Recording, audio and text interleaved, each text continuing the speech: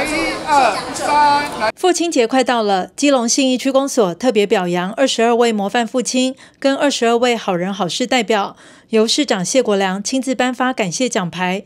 包括议长童子伟、跟市议员陈明健、陈君佐、何淑平、陈怡、韩世玉，跟立委林佩祥秘书黄生栋、信义区公所区长吴小慧等多位贵宾，都共同参与这次的颁奖。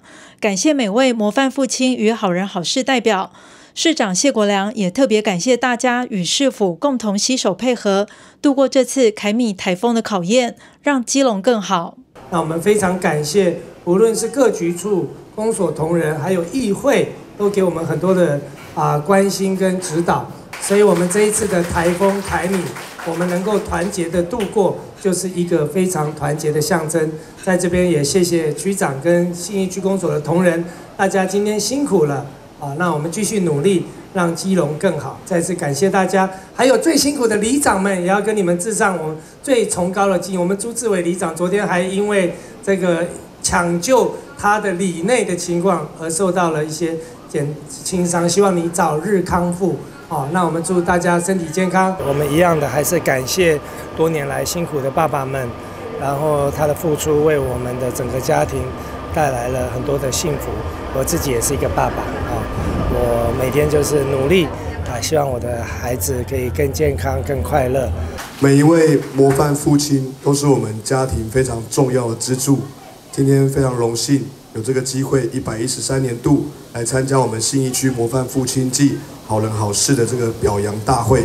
要拿到这个奖，非常的不容易，不但无私的奉献，也是今年累月、长时间在每一个家庭的付出，在每我们社会的每一个角落付出。今天能站在这个台上，我们应该拜托大家给各位模范父亲还有好人好事代表一个热烈的掌声，好不好？也谢谢我们市府各单位的同仁，谢谢市长，大家用心的努力，让我们今天在台风过后迅速的恢复市容，让我们每一个岗位都恢复轨道，祝福我们台湾，也祝福基隆，大家平安健康，谢谢大家。现场的另一个焦点是前立委高嘉瑜，因为父亲高义信获选为好人好事代表，因此他特别来到现场恭喜祝福，也应邀上台致辞。我爸爸从小真的是非常的热心，那在他身上我也学习到很多。虽然我们家在这个新义市场旁边新二路一百九十六号永兴百货行哦，欢迎大家可以多多来哦。那这个我爸呢？这个平常除了顾店之外，还很热心参与学校的事情。